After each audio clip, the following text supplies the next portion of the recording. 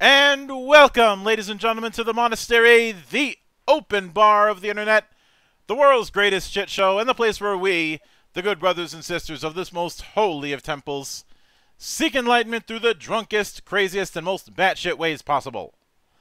I am your one and only gaming monk, better known as Mildra, and with me I have a couple newcomers to the temple, coming to us straight from Little Knight Games, not to be confused with Noble Knight Games. That's a whole other that's a whole other topic. And cre and creators of the upcoming Metroid Metroidvania tribute in the form of Mira: Legend of the Djinns. I apologize if I mispronounced that. We in the in the blue in the blue corner we have one of the writers, the man known as Evan, and in the red corners we have one of the producers, better known as better known as Oliver. And if I and if I were more inebriated, I would do this. It I would do this in a Michael Buffer impression, but I am not, at least not yet. How how you guys doing tonight? I'm doing okay. Yeah, I'm doing pretty pretty well. How about you? I'm doing pretty good. I'm doing pretty good. It um, it's not win it's not winter yet, but I know it's coming. Yeah, creeping up there for sure. Canada, uh, and the winter is we're talking like minus fifty degrees Celsius some days here. Um, I'm in Minnesota, so so I'm not. Yeah, you guys get cold over there too, don't you? Um, yeah. If you don't mind me asking, what part of Canada? Since I've got I've got friends in different provinces. The Minnesota of Canada, probably Saskatchewan is where I'm from. Oh, you're oh you're you're a, you're a ways off then. no, it's not the Minnesota of, of Canada. No, we get all kinds of because the states have so many so much diversity between the different states and what they're known for. And in Canada, we've only got like ten provinces and uh, a handful of territories. So it's like sometimes you hear like Alberta is the Texas of Canada, but you also hear the Alabama, Arkansas, and Florida of Canada. You know, like you get that a lot. So where's yeah. Minnesota uh, at? Uh, how would you how would you compare it? Um, I, I, was about to say I thought Minnesota was part of Canada. you're the funny thing is you're not exactly far off because the capital is the capital is St. Paul. Um, the capital was almost named Pig's Eye after a um, after a famous French Canadian explore, explorer ar around that time. Oh. That that was it, that was his nickname. So call, so calling it Canada calling it um, Canada South isn't uh, isn't that out of the ordinary. Plus, I don't know. Whenever whenever I don't know for whatever reason, um, hearing Canadians with a with a thick Quebecois accent sounds a little bit too much like like um like some Minnesotans I know with a very with a very yeah. thick um Minnesotan accent. um, Fargo. Right. Yeah, yeah, sometimes the Midwest sounds like Canada to me when I watch TV and movies set there. But yeah, but yeah, um, Far Fargo is that is the movie that everyone everyone brings up because because because of that, and, and I'm sitting there yeah. going, nope.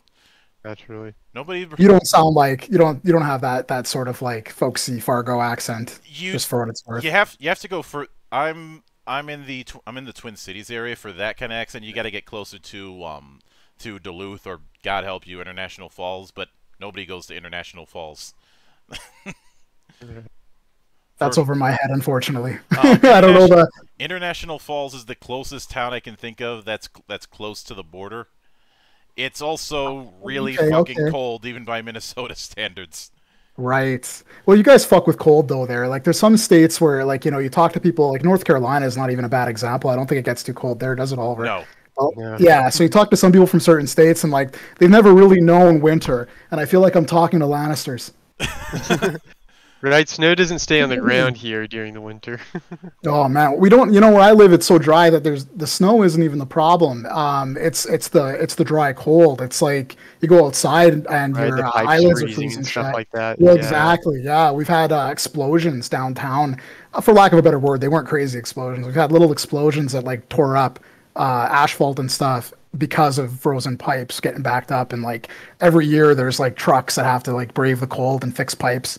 Yeah, for, um, frozen pipes is frozen pipes are nothing to scoff at because no, it's, it's, it's for this it's unpleasant. for the same reason that a, that an easy way to um to murder someone's freezer is to throw is to um throw Pepsi cans in it. yeah, which I I may or may not have done, but I don't want to I don't want to incriminate myself. With beer bottles before frozen beer bottles exploded in the freezer. Um, there was there was there was one in there was one instance I remember where um a buddy of mine was uh, was um get was bringing in groceries, and um he he forgot that he left a 24 pack of Mountain Dew in in his car, and this was in January. and um I come I come to see him and I and I see just nothing but green on the ins on the inside of his car, nothing but green slush on the inside of his car, and I'm like, what the hell happened? he he for, he forgot ab- he forgot about the dew and it and it and it would and it just sat in there Gee. and it and and it was and around this time it was I think 10 below um Fahrenheit which um I which after I heard about that I was like congratulations you get the fucking idiot award for the week I cannot translate Fahrenheit. I've tried. I try. I can do miles. I can do feet. it's negative, and- it's cold. So yeah, yeah. It must be super cold, right? Because for us, when it's like cold here, it's like 40 Fahrenheit or something like that. Some stupid number. well once it get once it gets is Once it gets freezing that is low- zero degrees. once it gets that low um is So it, freezing 32 degrees. go ahead Oh, sorry. I was just saying th- freezing's 32 degrees in Fahrenheit. So yeah, Okay, okay. basically anything that's negative, uh, and that's zero degrees in Celsius. So anything that's negative Fahrenheit's going to be really, really cold uh, compared to Celsius. That makes sense. um But anyway, for um t- um 11 below that's t- that's about um 24 celsius W- rounded up Min- minus 24 i should say Jeez, Yeah, I, you, I know you guys are hoping that I'm gonna remember this, but I'm not going to. It's one of Oh, those weird things. Like I'm pretty good at certain kinds of like trivia or remembering like measuring systems and things like that. But for whatever reason, I I, I break on Fahrenheit every time. Like I, I can't. don't. I don't pay it. I don't pay much attention to um to the to the hard to the hard numbers personally. It's a case. It's a case of it's either not cold, cold, or fucking cold. Yeah, lick your finger and and and put it up in the air and just see how.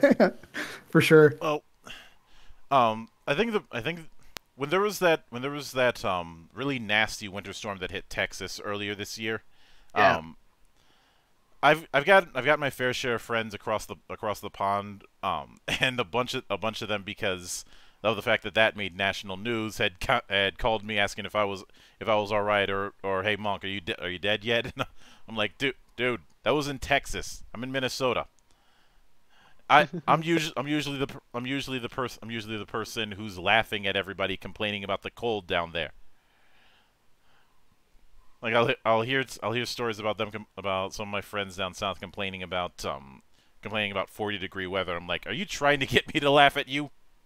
I don't get it because, like, I imagine. I mean, I've been some hot places. I've been to Thailand. That's the hottest place I've ever been, and it was like walking around in like physical heat, you know. And after a little while, you get used to it. Well, mo- I guess most people probably do, but I don't know if everyone does. I got used to it, but like it was, uh, it was brutal the first couple days. And I and I know there's parts of the states that are hot like that all the time, and I'm just like, holy, how do people live in places like that? I, I bet you North Carolina has parts of, of North Carolina that are like that, right? Well, I mean, I, I was gonna say What- like it really is. know?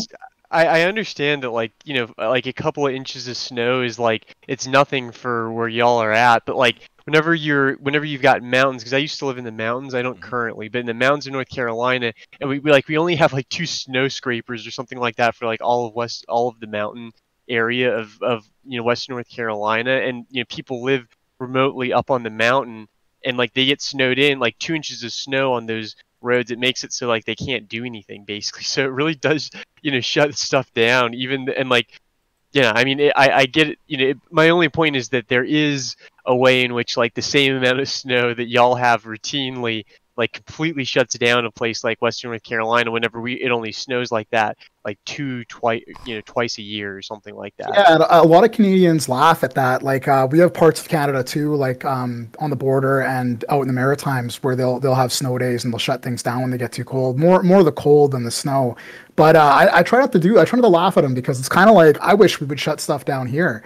Um, there's this kind of like, and I think we even talked about this before, Oliver. There's like this insane pride here about like weathering the like insane cold, right? Right, And yeah. uh, and it, it's bizarre because people die every year of exposure from cold, totally preventable deaths. And it's not like it's not a crazy amount or anything like that. So it's not like um, it's not like anybody's like campaigning to get to get stuff shut down or anything like that. But it's it is like one of those things where I'm just like, you know, it's minus 50 today. It's colder than the surface of Mars. We shouldn't go to school or go to work today. Like, come on, you know. But they they do it all here.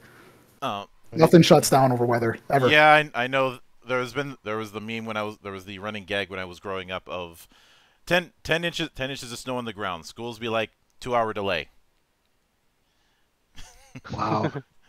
yeah, yeah, definitely. There's definitely places like that. Hey. Yeah. I mean that's how it was. I did live in Chicago actually. Whenever I was like in third grade, which is I think whenever I, I talked to Evan about uh, about that you know dynamic, it's basically like whenever I lived there, we'd have a bunch of snow and we'd still go to school like 12 inches, and we had like one snow day a year, and that's whenever it snowed like you know so so much. But then I moved here, and like in North Carolina, we had 16 snow days the first year that I moved here. But like I saw snow like two times, but like every time that it like even potentially snowed, you know, they were they were shutting down school. So uh, yeah, it's just it's just funny how how that works, how how that differs. I, on, I only I only do I only do the picking on because um because some because some friends will pick on me about about how haha you're up there freezing and it's nice and it's nice and cozy down here. right? Yeah, So- that does happen. So when so when the opposite happens, you bet I'm gonna rub salt in those wounds. I'm picky as fuck though. I, I hate it too cold. I hate it too hot. Like Oh, so you're Gold, oh so you're Goldilocks. oh, I like a Goldilocks. Here it's in in Saskatoon where I live. It's it's either too hot or too cold all the time. It- you know, there's never uh, you get mild weather for like maybe you know a couple of weeks on each side of summer, and and that's it. We barely have spring. We barely have fall here. Whenever Last, somebody like, plays word association me with with Saskatoon, Saskatoon, I always say, "Oh yeah, the place that the Blues al- almost moved to." Yeah, I remember. I remember that. I remember people getting all excited about that, and that never happened. Well, yeah, it's a foot. It's football town uh, over here. I don't know if they'll they'll ever be like a like a real hockey team here. Um, the the clamor for it died down uh, a little bit. I mean, we got a pretty good. We got a couple of like we got a good college team and stuff, and we got a lacrosse team now. And and it was really weird when that happened because it went from like lacrosse being an East Coast thing, or not an East Coast necessarily, the Eastern thing, like Ontario, Quebec, to all of a sudden there's like this huge. It was like out of nowhere, like like a flash mob lacrosse team that was like professional in our city with people with season tickets out of nowhere. And all of a sudden you're hearing, "Have you gone to see the Rush yet? Have you gone to see the?" You know, and I'm just like, "What are you talking about?" And they're like, "Well, there's a lacrosse team in Saskatoon now," and I'm like, "What?" like what? And it took a while to get used to that, but I still haven't been to a game. Professional although I like- lacrosse. yeah, I like lacrosse, but I haven't been to a to a game yet. I um, the main Sports fanatics here, though, like like Saskatchewan is is it's like people bleed green here and all that with the, the the main football. um the main ru- the main rule there are two main rules that I've always had when it com- when it comes to the jokes I can make with ca- with um Canada. One Mm-hmm. is um I save all my weed jokes for any t- anytime I'm dealing with BC. Not anymore. It's all legal up here everywhere. And um well th- well I do it because BC Bud is it has its own, has its own Wikipedia page. That's true. That's still where all the that's where all the MOMs and the growth ops and stuff are anyway. Like it's where all the good stuff is. So I, I can see it. And Sorry, um, go on. everybody not from Toronto hates Toronto. Accurate. It's like I can, I either, I either hear it I either hear it is because of Leafs fans, which are my personal whipping boy and will be for another 50 years, I'd imagine, or because Toronto thinks that they're Canada's version of New York. They play New York on TV, but you know how that goes. Oh, I Yeah, Tor- Toronto is the closest thing we're, we're ever gonna have to to a New York City. But I've been to New York City and I haven't been to Toronto. So what does that tell you? um, congratulations, you bet to the rudest city in America. There's only one. The There's only yeah. Actually, I can I can corroborate that. We went to an, a restaurant and uh and I mean up here it's like people are in your shit. Like, compared to Europe, people are in your shit in North America immediately when you go into a restaurant, and the servers will not leave you alone. But this particular place we went to, we were there for like 45 minutes, and the, the they saw us, they came to us over and over again, and then would just leave. They'd be like, "Oh, we'll come back," We're, and they weren't busy or nothing. It was the weirdest thing, and I was sort of like, "Are we too underdressed, or like what's the what's the deal?" And we just got up and left and had steak somewhere else. yeah, but um, getting Their, their loss. getting to getting to saner matters. Um, Sure. we, ki- we kind of we kind of got we kind of got off the rails. Um, Yeah.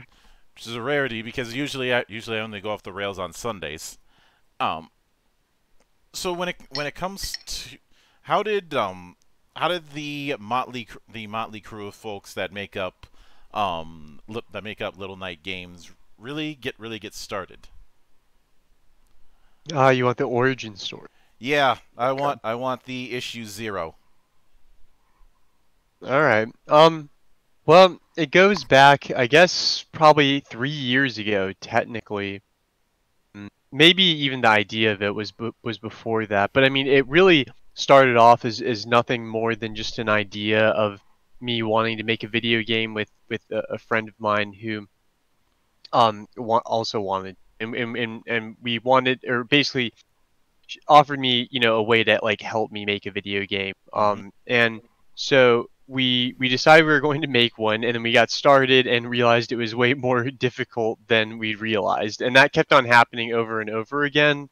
Um after several like false starts trials and errors i uh met up with uh uh Rashid um is his name. His screen name's Highblitz I, I always call him Highblitz but I met up with him uh I found him. He's the current game developer of uh Mira and we started working together and he was he was by far the the best person that I'd um, found to work with basically on, on making a game because he's he's quite talented and he can do just all kinds of things. He um, he can he, he can do artwork he can do animation he can do uh, development itself he can do game design and level design um, and he can even uh, do writing kind of badly but that's fine. Uh, uh, but uh, but still, no, he's he's he's he's he's great. And so I started working with him, uh, and we made we started working on a game called Zaturnia actually. hmm Um,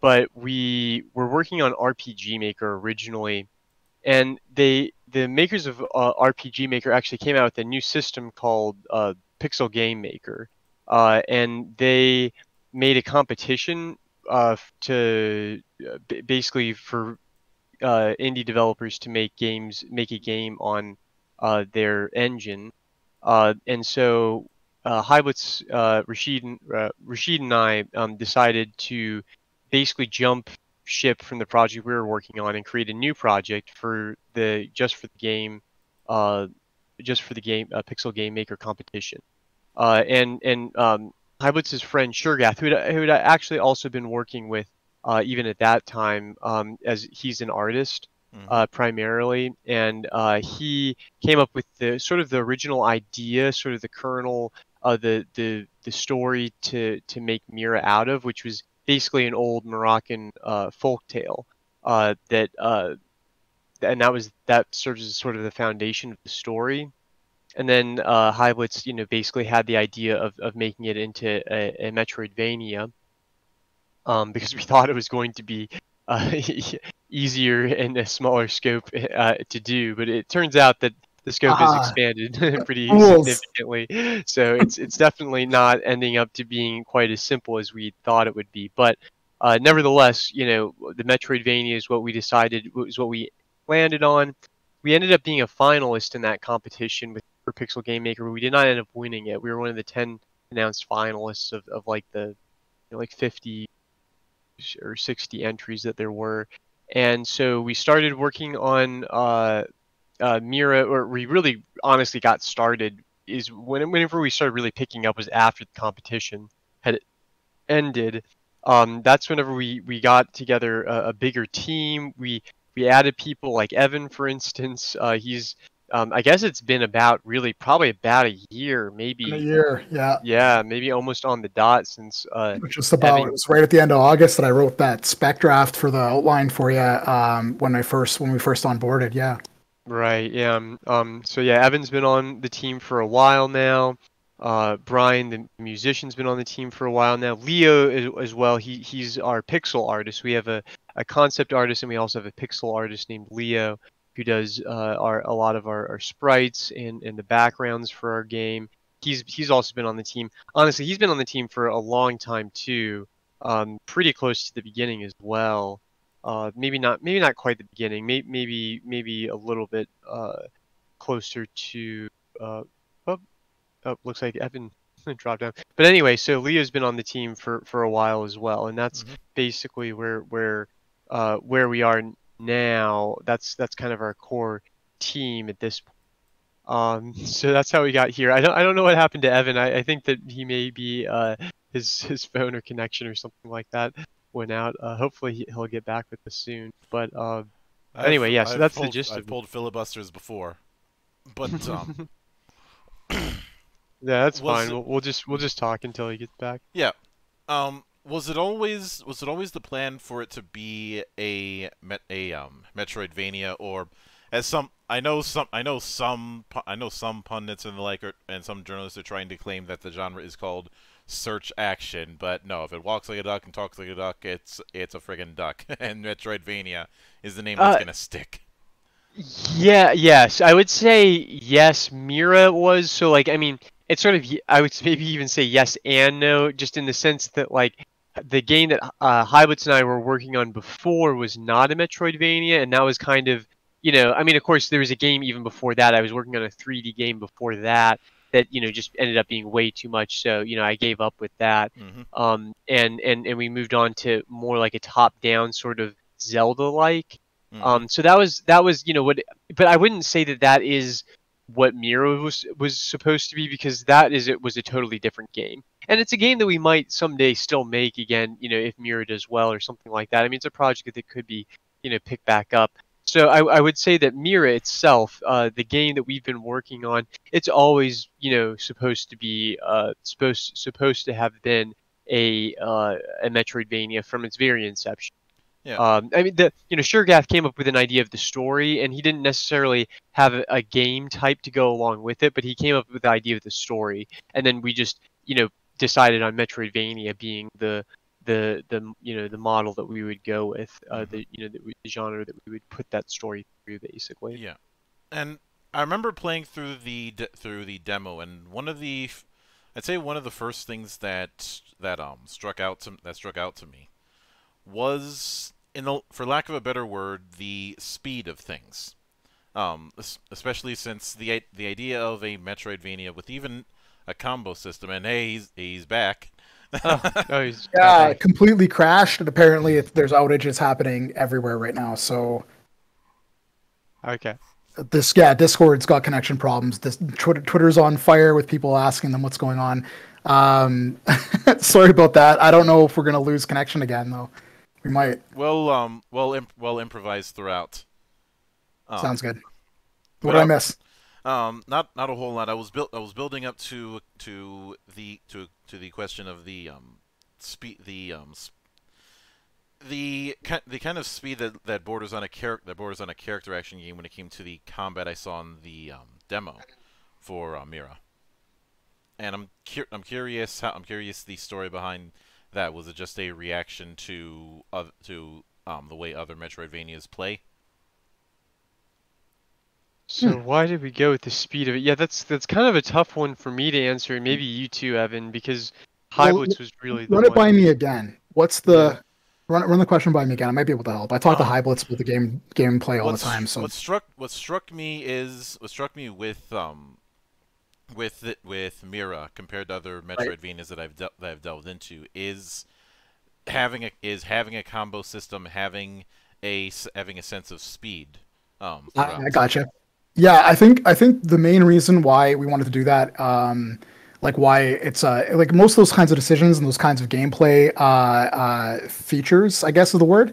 They get they arise out of just like um, Rashid experimenting with things and and mostly trying stuff out from games that he likes. So th- there's a Devil May Cry influence there, big time. Oh yeah, um and uh and i and i think he just like wanted to make it so that the players had a lot of creative freedom um in terms of how they wanted to use abilities and stuff so we didn't want it to be like um your standard metroidvania where you know you hit your attack button you have some abilities that you maybe use or some spells like if you think about something really boilerplate like chasm which is a great game but it's as simple as they come when it comes to like harkening back to the original castlevania uh, kind of approach to things. It's very much like a like a Symphony of the Night type game. Our game, I guess, um, Rashid wanted to update that a little bit. Try to try to see what else we could learn from other types of games that aren't Metroidvanias uh, to incorporate into into Mira.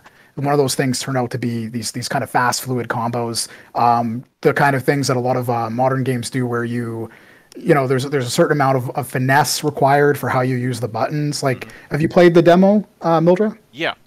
that Okay, so you've only really gotten to play with the one element, Mm-hmm. um, but ideally, uh, there's going to be four. Like when when the player is playing, they're going to use all four. They're going to use the celestial element. That's the one that's in the demo. Uh, a fire one, um, and the inferno element or infernal element. There's the celestial element, which is uh, air and water, and then there's a uh, uh, kind of like uh, the lunar element, which is like shadow and and um, illusion. So when you're playing, hopefully what we want is the player is going to be fluidly switching between all those combos through through the way that we're setting up the controller, and then they'll be able to sort of like you'll have one player who's going to like um, switch really quickly in between two favorites, maybe that they like to use all the time. Like I typically like heavy hitting, uh, slow kind of stuff in games like this, so I'll, I'll probably end up using the infernal uh, mode a lot, you know, when I'm playing. Uh, but other people might use all four, or they might stick to mostly one, and we're trying to to to make it so all that's viable. Mm-hmm. and Does that Rashid would be the best person to to, to go into this? Yeah. But does that kind of does that answer the question? Kind of. yeah, and Good. since you since you brought up the since you brought up those four um primal elements, Or um, the way the way you the way you ended up describing it, what um what some what somewhat comes to mind is the is the stylings for say the um well style system that was introduced in Devil May Cry three. Um, right. in the in that in that kind of in that kind of regard, I'd like to I'd like to go through those fo- those four primal elements and what sort of play styles they would um fa- they would favor. Okay. They they have uh, combat and non-combat uh, applications too. So I can, if you want, I can I can explain that a little bit too. Yeah. Um, I'll start with um, solar. Yeah, solar, right? I was calling it celestial. My bad. Um, solar is uh, where like you, it's kind of your your your starting one, and you're gonna have that one as your kind of backbone through most of the game. It's the the sword element, so your artifact, uh, that's your weapon. Each uh, element has an artifact associated with it, and those are the weapons. We have um, a sword, a kind of uh, double-bladed glaive, two daggers, and a chain axe. Kind of something, kind of like um, if you took one of Kratos's uh, chaos blades and made it really big and just had one of them. That's what our our uh, our axe is like, our our, our infernal axe. So um, th- the kind of sword play is going to be more quick. It's going to be medium damage. The abilities are going to be mostly about healing and defense. And uh, and probably a bit of traversal. So, for instance, our air dash comes out of the the solar um, the solar field or solar uh, the solar mode, I'm gonna end up like saying the like 18 different terms that mean the same thing. Um, bad habit. So that's that's kind of how that one is used. Um, I'm I'm thinking that we're gonna probably end up tweaking that one and redefining it the most uh, in reaction to the other ones and what they do well. Like for instance, I think a lot of players are gonna expect the uh, the celestial mode, the air and water one, to have your air dash. And I'm not sure if we're putting an air dash in there. I think that that's going to be where our water traversal abilities are, are going to find their home. Um, next one, do you want? Do you have a preferred order you want to Um, go I'm in? Go- I'm going. I'm going by the order that that I'm looking at on the Kickstarter page. Oh, right on. Okay, I should look at that too. So it's solar, celestial, infernal, and lunar. Okay, so with Celestial, um, we're we're looking at uh, at that being kind of the the light and breezy one. So there's going to be juggling, uh, a little bit more juggling with that because you use the glaive to kind of create like a like a cyclone. There are some gifts and things where there's there's no these these modes aren't available in a playable version of the game yet, but um, Rashid experiments with them quite often and has done some gifts and and things like that with them. Are those on the Kickstarter still, uh, or were Yeah, they added to that? Yeah. The- the Now, Yeah, gifts- you when you say when you say glaive, are you ta- are you talking like are you talking like a spear or are you ta- or are you talking something? Well, the, the glaive is a funny. It's a you're you're like a tactical or a tabletop RPG guy, right? So Yeah. So you probably know that glaive is kind of a funny. It ends up getting used to describe two bladed swords a lot, even though uh you know historically a glaive is is is a pole arm. Um, our glaive is a double, basically a double headed sword yeah, or a double headed spear. yeah. The par- that was that was my get that was my guess. The I'd say the big I'd say the big reason for that the big reason that I ask is I've seen um I have seen I have seen gla- I have seen glaive be used to re- to use to reference multiple multiple types of things and You ever seen Krull, the the '80s film where it's Yeah. a it's a throwing star? The glaive is a is a ninja star in that movie. There is al- there's also the fact that um bla- blades two two bladed um th- two bladed thro- um throwing star is referred to as is referred to as a gla- is referred to as a glaive um throughout. So so it Right. it's, and um of course if you want to get if you want to go full ridiculous there's the five blades that were used in the in the signature weapon in Krull which Right. Sure, which, Yeah, it's um, five. That's right. It's got five on it. Which fun fact on that? That was almost D and D the movie. Right, I've heard that. That's a great film. It's it's uh Well, it's it's, be- uh, it's better than the D and D movie we actually got. I have a soft spot for that movie. Uh, I- Jeremy Irons hamming it up. That the only person I, can't think you could out ham him is um it is um Brian Blessed, Oh yes. and that's not Indeed. and that's because he is not Brian Blessed is not a ham. He is the he is the whole he is the whole roast beast. Yeah. Um, Flash Gordon. That's my my Brian Blessed. Yeah. That's my preferred. so back to the, the the weapons and so on. Mm-hmm. Um, the fun stuff, right? So so uh, the the celestial one is going to have to do with um, jumping around a lot. That's going to be a, a very mobile mode. Mm-hmm. Um, that's sort of its like its a niche, I guess, or niche, I should say. Yeah. And then uh, what's after that one? Um, um, Infernal. Infernal. So yeah, I, I did uh, refer to this earlier, but it's the heavy hitting one. So like the Infernal is like your big chain axe. It's a little bit slower of a weapon. It hits a bit harder. A lot of those abilities are going to be AOE, like hitting the ground, a bunch of fire and and and rocks come up, you know, and do damage in that area. Abilities like that. Um, for traversal out of combat, um, we have a lava crab. Oh yes, it's my favorite thing in the game. I always I bring it up every chance I get. Um, so it- your traversal ability uh, in in that uh, mode is to get across spiked floors. Essentially, any floor that's like um, dangerous that you don't want to walk across. Well, Yuba can summon a lava crab when you have the ability unlocked, and that crab shows up and you ride on it. It's a moving platform essentially. Yeah. Um, a couple of questions that I do have about Infernal, given given that it's the Sure. given that it's the heavy and the um, all the allusions we've made to DMC up up until this point. Um, one, would that be the only one whose um whose attacks can be charged? Actually, I'm not sure about that. That would be a Rashid question. I don't even know if we're going to do charging it, charge attacks in every mode or not. Yeah. Um, I, w- I would expect so. Um, that would be something pretty boilerplate, right? Like, uh, you'd expect to to kind of have your heavy attack um, mode have like something where you hold the button down and, and it gets heavier. So I, I, I imagine we'll have that. Yeah, um, I'm when I'm when I'm bringing that kind of thing up, I'm I'm um, drawing upon the ch- the charge attacks that say, um, the if say a lot of the gauntlet weapons have in in the Yep. Devil May Cry series. Um, Yep. And the other the other question, and this this might get this might be a little bit terminology he- heavy on the on this front, but would that be the only one that has whose attack animations have super armor? If you're familiar with that term. Are you no? But are you thinking of infinite? Uh, uh, what's the word? Um, iframes like immunity frames or invulnerability frames? Is that Um, what you mean? No, su- with super armor, you're not. W- super armor is a term that's that um originates in fighting games. Um, Okay. What it basically means is that you're still taking damage, but the animation isn't interrupted. Oh, okay, yeah, I think so. There's a shield in that in that uh in that mode that I believe works that way. All right, and Yeah, like you're you kind of hold it up and, and you can take some some damage for a while and you're and you're still you know you're not like interrupted, um, but eventually you run you run out of mana and then you're gonna drop your shield. yeah, um, and the the last one of the four is um lunar. Yeah, Lunar's sort of um, your fast daggers, but it's also got a little bit of stealth gameplay associated with it. So we're not we're not really doing a full stealth mode, but there are going to be abilities in the Lunar um, uh, tree that feel like that a little bit, like being able to disappear and reappear behind an enemy for like a backstab. Um, Lunar is also the traversal ability that that uh, right now we have associated with that mode is to phase through solid obstacles. So there's certain solid obstacles. I think there's a GIF of it on the Discord or sorry the Kickstarter, and that has like a kind of purple symbol um, on a wall, and that tells you to use your lunar mode. Right? We use a lot of color, um, a lot of color uh, uh, cues for the player to kind of like know what to use and, and how to do that. And something we actually talked about quite a bit early on uh, when we started to design the abilities. It's a big conversation uh, I had with with Rashid and the art team over several months was about color theory and how we were going to figure out which colors to use for which things. And even our characters are defined or can be defined by particular colors associated with what element they belong to. Because we have a whole cast of uh, of Djinn characters that, that basically function like party members in an RPG. They're with once you recruit them, they're with you all the time.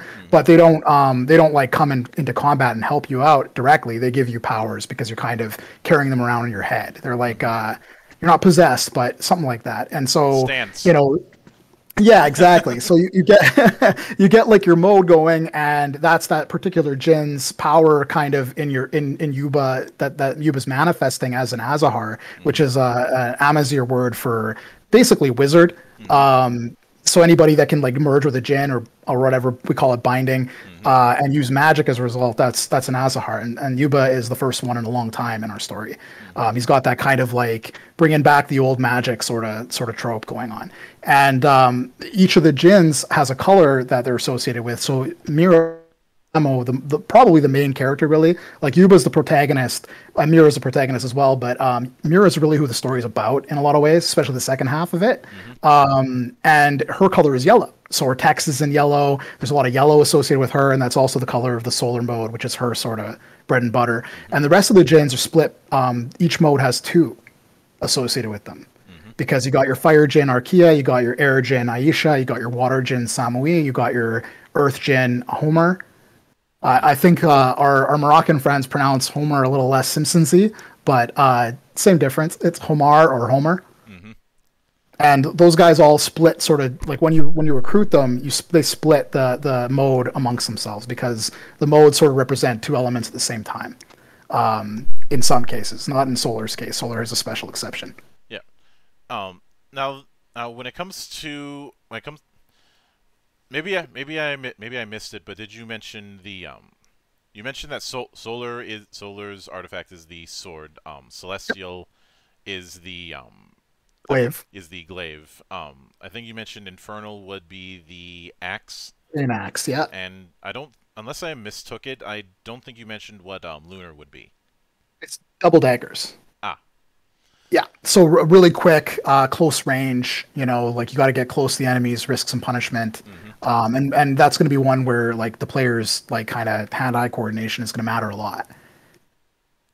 Yeah, I got I got Being you. able to avoid damage while dishing it out with daggers. I mean, you know, dagger gameplay in games like this is, is pretty much always like your your fast and dirty kind of kind of uh, style, I guess. Speedy boy.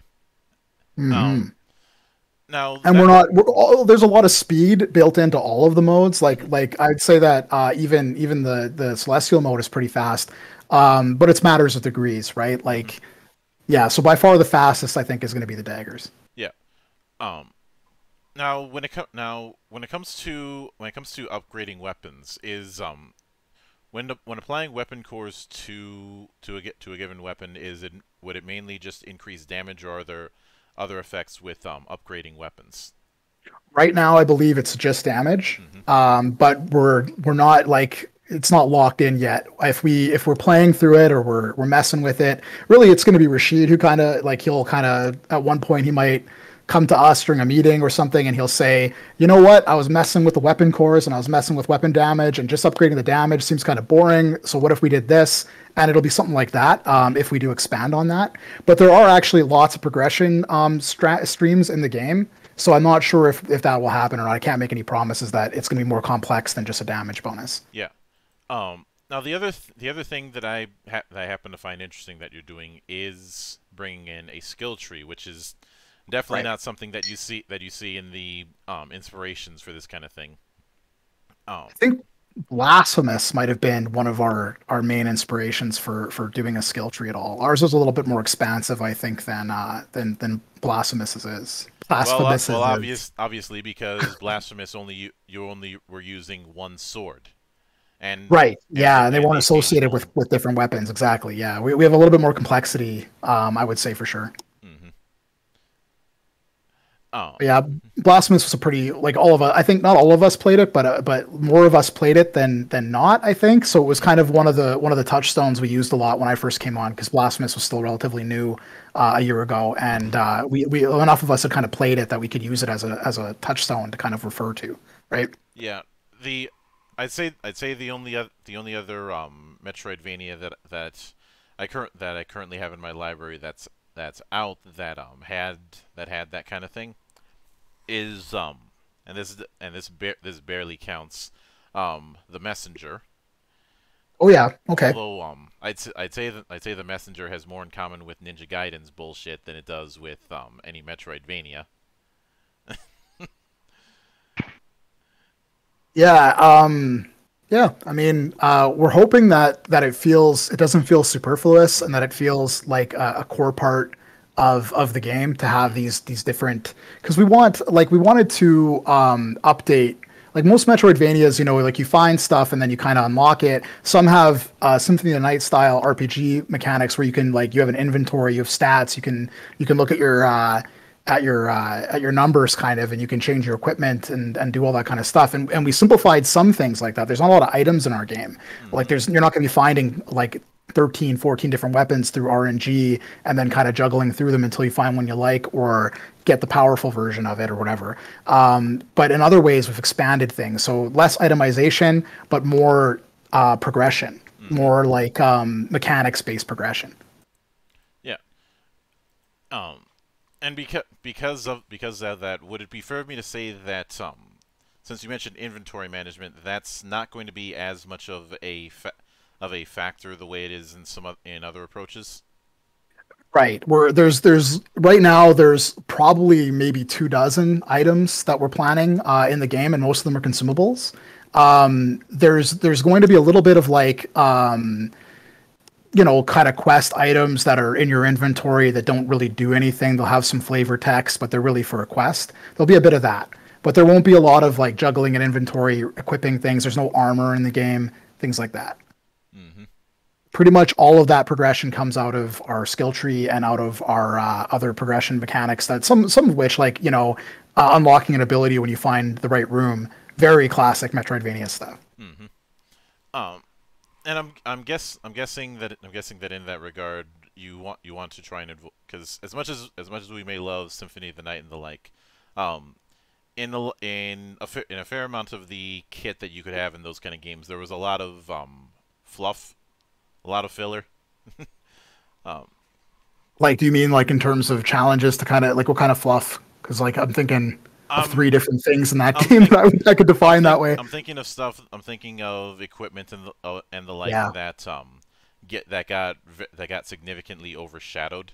Um, well, I mean, who who has fun watching a streamer manage an inventory, right? Like, it's one of the things that we we especially Rashid thought a lot about was was how would streamers and speedrunners approach our game, and uh, it's probably one of our selling features that we're intentionally keeping that in mind like we're not building the game for speedrunners exactly, but we're keeping them in mind. We're keeping streaming in mind. We're keeping um, ways of of getting out of the player's way in mind. And, and one of those uh, things that affects me more uh, is dialogue and how we're going to do dialogue. Initially, we were going to do text blocks, um, like you know portraits, cutscenes, all that stuff, and we're still doing that in some cases. But uh, more more of our dialogue is now going to be like you saw in the demo um, it's going to pop up and you're still going to be able to move around. And it's going to be like a little box on the screen without a portrait. It's not going to stop the gameplay. It's going to kind of sit there with you. Um, and and you'll be able to move around or, or whatever you want to do as a player while you're doing that. And it's not we're, we're going to try not to interrupt the player too much or take too much time away from just being in the game. We don't want them to spend too much time in a menu system or anything like that. Mm-hmm. And I, I, guess that's kind of different than than a lot of Metroidvanias, but not all of them. Um, and we're all JRPG guys too, so it's sort of funny that it turned out that way. Um, I've some something that something that I've noticed is that is that um, a lot of people a lot of people design with a wide net, and then and then as time goes on, you you go with a smaller and smaller net. And if that seems like too much of a fishing reference, I remind you where I come from. are you thinking? Uh, are you thinking in terms of like who you're making the game for, or how much like scope, like how much game there is? Like like what do you?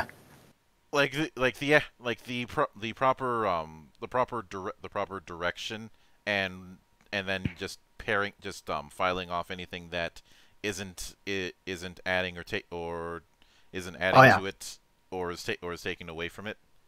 Totally, yeah, and I mean we we kind of like like uh, Oliver was saying, we started smaller and have kind of built up scope over time, um, and that scope that we've built up is is less like I don't know, I would say it's less like new big gameplay features and more just like well, how big are our levels going to be, and how long are they going to take to beat, and how much story is there going to be in the game that you're going to actually see and, and experience firsthand versus how much of it's under the water if you're thinking of icebergs, right? Mm-hmm. There's that whole every every good narrative should be like an iceberg. There's all the stuff that you have direct access to that you can see, and then there's the stuff going on underneath it. Um, there's all the things that we know about the world and that we know about the characters that the player might not necessarily ever see. Um, so we try we try to keep that in mind right from the beginning. Uh, we don't we don't have, we haven't had a, a point yet um, where we've had to really cut scope although we might have to eventually um, like and and the form that would take would be maybe making some of our levels a bit smaller when i'm writing um, uh, narrative and when i do level design because i do the first conceptual pass at our level design i'm the author of the level design document um, and rashid does all the, the the the i don't know if he would say it's the fun stuff i would but he'd probably say what i do is the fun stuff um, but he does the building right. So we start with the document and then he builds it. And uh, and when i'm doing that i build in places to cut scope. Like just from the on a conceptual level. Like for instance if we were going to have um, how many mini boss fights are we going to have for instance right? Like so uh, that's organized in a way where we could we could say at the beginning of our planning we're going to have five mini boss fights in this level but it's it's set up in such a way that we don't actually need to have that. They're not pivotal enough that if we had to cut down to three or two we can't Mm-hmm. And we try to do it as much as possible. And I mean, I don't want to imply that like we're, we're, we're half baking features or ideas so that we can cut and run if we need to. It's not really like that. It's more like anything that, that doesn't need to be like set in stone right now. We try to keep in mind the fact that we might have to cut it. Yeah. Now, in a lot of in a lot of metro in, in a fair amount of Metroidvanias, they tend they tend to focus on on one particular on one particular area Whereas the world that you have ha has a, at least from the at least from the um, world map image that's shown on the page, has a right. lot of um a lot of variety when it comes to when it, when it comes to different when it comes to different potential biomes, not just um right. not just desert ruins. Um, right. With that kind Lots of, of desert ruins in our game, but yeah, I know what you mean. There there are something like eight uh, biomes, mm -hmm. I would say. Oh. And there's subdivisions in some of them too. Yeah and I'm and this is this is probably going to be the obvious question, but I'm get but when it but I'm guessing that you're going to be doing a portal based approach when it comes to fast traveling between between biomes or between areas. Oliver, correct me if I'm wrong, but I, I, don't know if we've actually set that in stone yet. How we're going to do fast travel? There, there's some there's some talk about doing a kind of like um, like a like a mount that not that you would ride, but although that's a cool thing that some Metroidvanias are doing now, um, but more like a station for lack of a better word, yeah. in Siri Village that will where you have a camel or a or a cart or something, and that takes you. You can use that as a fast traveling system, but I'm not sure where we're at with that. Yeah, we've talked about some different things. I think we've talked about doing different like statues potentially right. as fast travels. So yeah. I don't think that we've we've honestly finally decided on how we're going to fast travel. There will be some. We did know that you know there will be some backtracking where you'll have to go back yes. to previous locations. But yeah, how exactly that will look is still a bit up in the air at this point. One of the things to consider is that the desert ocean part of our map connects to pretty much everything else. Even the the map that you can see on the on the Kickstarter and our website, it's like a you know it's the artist version of our of our world map, right? So the way that everything fits together um, is typically through the kind of side-scrolling grid map stuff that every Metroidvania has. Mm-hmm. Um, and the Desert Ocean in that case is the hub or the crossroads for all these areas. So um, we're hoping that if you're not going to fast travel, you can go to the Desert Ocean. You can pretty quickly get to wherever it is you're going. Although there are places like Adrar's Peak that you have to go through, at least the first time, you have to go through the forest to get there. You have to climb up a giant tree. That's two biomes right there. Mm-hmm. And then uh, and then you get up there, right? And so we, we need to have some kind of fast traveling. We just don't know how we're going to execute it yet. Yeah. Now, with with that with that kind of thing in mind, um, obviously, obviously one of the other major one of the other major motifs in a Metroidvania is um, is the is the items that you're specifically going to be using um, for pure uh, traver- for pure traversal. Yeah. You've mentioned yep. um, you mentioned seven of them that you're that you're going to be having. I believe one. I believe um, if, as I recall, one of them is one of them. What one of them was the was the pick that you're going to be using for for um, walls. Um, right. What can you tell me about some of, about some of the others? There is the main one. Our, the pick is the one that everybody sees and uses because it's in the demo and it and it has uh, two purposes. You can smack rocks with it, and it's used for mining, which is fun, right? We try to do as much dual purposing with elements as we can. The other thing is, like you said, the, the wall climbing. Um, there's a Gambry tool that is available in the demo, but it doesn't really do anything yet. That tool is going to be um, you're actually going to be able to whip it out and play it whenever you want and uh, and we'll use a timed button press system for that. That we actually, I think Rashid just just finished up uh, a draft of that system. That, Um, that timed button press, I'm getting um Ocarina of Time flashbacks. Something like that. Uh, probably a little bit less. Um, well, I'm not actually sure. It might be less or more complex. I don't exactly know what what that's what shape that's going to take, but it's going to be a little bit like that. And you can you can play it when you want, but there's also other purposes that it serves. There's a there's some major story events, so the Gambry features pretty heavily. There's puzzles that it's used uh, for. There's a combat purpose for it. We have these. Um, we're planning these uh, these optional narrative um, uh, uh, scenes that are associated with certain areas. So there's going to be an area in, in most maps where the player can kind of stop and smell the roses, and you'll and and Yuba will stop there and play a song, and then a cutscene, sort of. It, it'll probably take the form of um, the kind of pause the gameplay and have the cutscene kind of thing. Um, a conversation will occur between the characters, um, the Djinns and and Yuba, and usually we'll we'll use that to add some lore about the world or let the characters bounce off of each other a little bit. If you think about Bioware games and how they tend to have like a kind of a banter sort of system, it's a little bit like that. But it's a little bit more gated, a little bit more uh, structured than than it is in a Bioware game, where it's open world most of the time. So you're kind of just it's occurring whenever. Um, ours is a little bit more directed than that. Uh, but that's one of the things that'll be it'll be available to the player to kind of sit down, play the Gambry, and talk to their their companions if they want.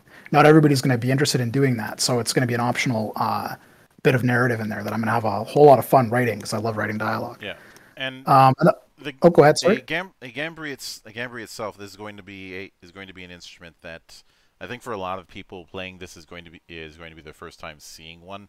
yeah, Um, from, totally. From what I from what I understand of it, it would be it would be somewhat ana- it would be somewhat analogous to a um to a l- to a lute. Yep. Yep, that's probably the closest. Um, it's a string instrument, so sitars, uh, hamisons, uh, or shamisens, I should say, uh, guitars, and uh, lutes are all you know in the same wheelhouse. But I think that I've heard it compared most to a lute. Yeah. Um. At the at the very le- at the very least, it's nice to have one. It's nice to have one played that's played by someone who isn't a bard for once. Well, Yuba is kind of a bard because of the because of the of the. Uh, I mean, he's a jack of all trades, you know. So he's got a bit of bard energy. He really does. Even at the writing level, he's a bit of a. Oh, he, Uh, he doesn't seem like- certainly is. I just, I just like, Yeah. I just like, um, I just like picking on bards because of experiences with um D and D bards over the years. naturally naturally easy target definitely. Um had those same experiences. Uh but yeah so so yuba's got a, a musical instrument. That's one of the tools. Those those are probably the two that the players are going to use the most just because they're the most um the earliest introduced. But there are others. There's a tool that is used it's kind of like a um uh, an incense censer and it's used for unlocking like kind of uh, uh i think that's the one that uh, you're, you're, testing my memory here. Um, it's been a while since I looked at our, our, our tool list, but there is one, uh, and I believe it's this one, where you um, you use it and it uh, opens up like hidden platforms. So you'll use the item and these platforms will appear for you. Um, there's another one that is uh, well, we have bombs. I should mention that. At least right now, I think we're going to do bombs. Um, that's another tool. That's a that's a classic, right? At one point, we were talking about throwing daggers, uh, but I'm not sure if we're actually going to do that or if we're going to use um, the mode system to have a projectile attack because there already is a projectile attack in the game um, that you can get uh, in the demo.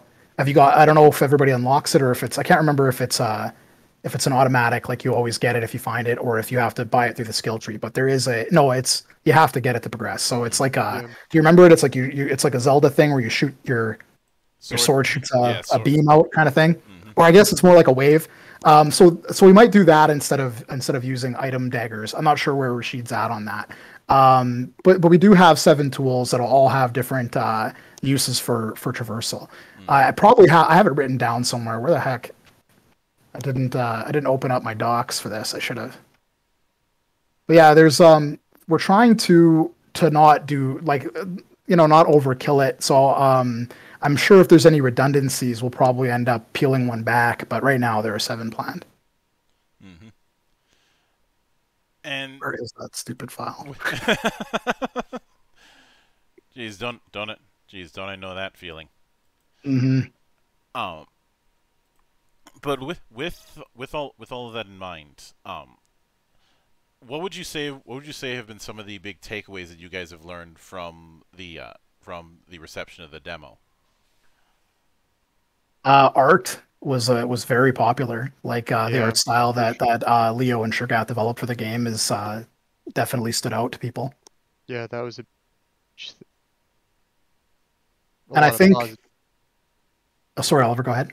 I said a lot of positive. We got a lot of positive feedback. Yeah, and uh, we got a lot of really good feedback in general about the mechanics, and Rashid was really quick to respond to a lot of that in terms of like making changes to the game. Um, we have we have some pretty like like we have a couple of users or our community members or whatever word we're using for them, but we got some guys in our in our in our circle who uh, are quite good at describing in granular terms gameplay mechanics. Um, almost like they do some dev themselves. I'm not sure, but they, they maybe do. And so feedback from them about mechanics, but there was a lot of a lot of people were just impressed because it felt like they were maybe expecting less. Some people have been along for the ride since the very early version of the game um, that existed before I came on. We had a completely different art style. Um, you know, it, it's uh, it's a lot. It was a lot different and a little bit more primitive, I think, um, compared to what we have now. And uh, and there was a lot of people that were pretty impressed by how like the combat worked, how fluid it felt, how professional. We heard that a lot. Um, that it felt, and that was all nice to hear. Yeah, people are happy about the length demo too. Like, Yes, it seems yeah. like we have a pretty, a, a fairly lengthy demo compared to uh, at least some. Solid hour for most players, yeah. Yeah. And it, it's not even the whole level. Like that level is probably going to be two hours and change in the end. It's got one boss fight, which is uh, I don't I don't know if that's the main boss fight for the. I don't think it's the the main boss for the whole level. But that boss, uh, I think that Rashid killed it with that. Some of the enemy design needed some work when we released the demo, and I think some of it's been been uh, addressed by now. But the boss was the one thing when I played the boss uh, and I did that fight, I knew we had something for sure. Like I mean, I knew before that, but like it felt like we had something instead of just like looking like we had something or reading like we had something, right? Um, that boss fight, uh, uh, like I would argue, is is a very well designed Souls like style fight. It's got phases. It's got it, it punishes you for over relying on abilities that you were using probably to kind of cheese combat a little bit before that. You know, so if you're if you're using the air dash too much or in that boss fight, he's gonna fuck you up. Um, it- the boss fight has a it has a gimmick that shield thing and, and drawing attention to the shield, but that's not really what you want to be. It's a it's a pretty good boss fight. I beat it my third try, and it had that feeling of like each time I died, I learned something, and that was uh, really important to me. Like uh, I think Rashid nailed that, and that was all him. Yeah. Now, with with that in, with all that in mind, um, what would you guys be shooting for as far as a re- as far as a release window for the uh, project? That's a good question, a fair question. I'm, I'm actually working on, on a document right now with with some various sort of time horizons depending on how funding, you know, turns out. Right now, we're, we're talking to uh, some publishers potentially about them helping us out, um, you know, to get the game made. Um, but we haven't, you know, signed the dotted line on anything. So, kind of a worst case scenario which is that we don't get any other sort of external funding or support or anything like that. Um, and we just have the amount that we got from the Kickstarter that we recently did, which, which uh, we were able to get like uh, about 20 after Kickstarter's fees, about 22,000 Mm-hmm. 50 whatever um thousand so with that budget and uh you know like i said no no further support. We're, we're looking at you know kind of the the far end which what we what we declared for the kickstarter was was april of 20 i think we just said actually just 2024 Hmm. so you know Spring, yeah spring, springish, yeah. spring 2024 that's that's kind of our and I, and I would say that that is you know that is as far back as, as we really you know like to release it. You know I, I, well, I would certainly like to release it sooner um, I'd certainly like to release it by like 2023 or something like that but that remains to be seen I, I'm still working on on some of that um, you know the documents for for like the various scenarios, but at the very least, um, we're going to shoot for uh, yeah April 24, uh, Mhm. spring 20. Uh, all right. Now I will certainly be keeping a close eye on the on the development um, as it as it goes. Um, but with with all that said, I do want to sincerely thank both of you for taking the time out of your schedule and braving the hell of time zone juggling as well as um, technical difficulty juggling. Yeah, yeah. Sorry about that again. I don't know what the hell happened. No, um, the the um, we all one of one of the mantras we have here in the temple is the dice gods show no mercy. Yeah. Fickle. Um, and of of course, anytime you see fit to return, whether it whether it's to whether it's to further delve into Mira to or to post about other um, o- o- other met- other Metroidvanias or just me- or just Metroidvanias as a whole, um, least of which being the fairy familiar being useless. um, the door is always open. As I often say around here, drinking is not mandatory, but it is encouraged. Cool. Thank Appreciate you. Yeah. Thanks. Thanks for Thanks having having us. us. And and if anybody wants to, you know, see our, our various social medias or anything like that, just go to mirathelegendofthedjinns.com. That's our main website. I think that we still have some Kickstarter stuff up on there. I'm gonna take that down here soon, but we'll, we'll still have, you know, everything linked, like our, our like Twitter, or Instagram, or Facebook, or YouTube. All of that stuff's just on that website. So if anybody wants to find out more, just, just head on. Definitely join our Discord. There's quite a few people there. It's it's uh the, the time zone thing makes it a little. It, when it's busy, it's hit or miss. like it, it could be any time. Um, but there's quite a few people there now, and it's uh it's a nice space, and we're definitely open to having more people in our Discord for sure. hmm And of course, a sincere thanks goes out to everyone who took the time out of their schedule to come onto the show and enjoy the madness. And there will be plenty more where that came from, as there always is here on the open bar of the internet. But until then, on behalf of the good brothers present and not present, my name is Mildra. I am your gaming monk. Stay fucking frosty, everybody.